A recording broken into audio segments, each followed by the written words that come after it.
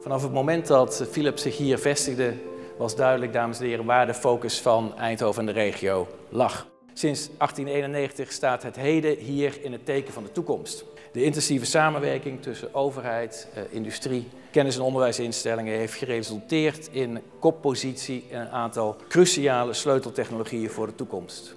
En dat is de kracht van de samenwerking van de Brainport-regio.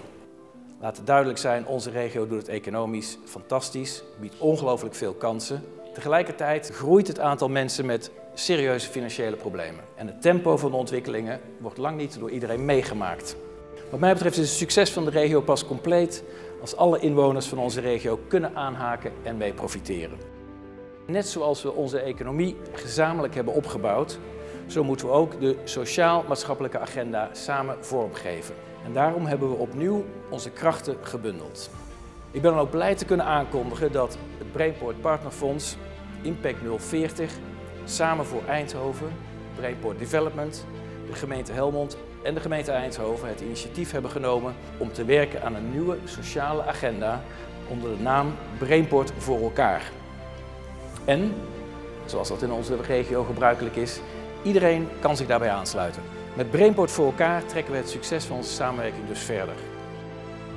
Ik ken geen andere regio in ons land waar het bedrijfsleven zo ruimhartig bereid is mee te investeren om de kansen van deze regio ook optimaal te kunnen benutten.